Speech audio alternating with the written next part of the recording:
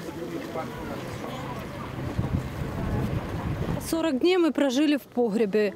И в погребе, и в подвале. Наш дом уничтожила авиабомба. В 2 часа ночи самолет бросил бомбу, 4 подъезда уничтожила полностью. Люди остались без жилья, очень много пострадавших. Помощи никакой не было, никто не приехал, ни волонтеры, никто. Люди самостоятельно пытались тушить пожар. В городе нет ни света, ни газа, ни воды, ни тепла, ничего.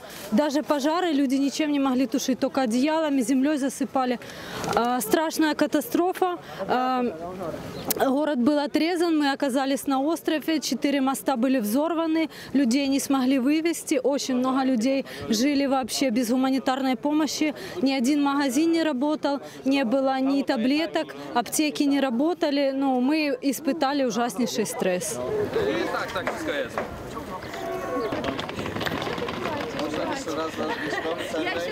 Ну, нас зараз бомбили у нас в Краматорске, рядом Краматорск, Славянск, бомбили военні части а, ракетами. Вот.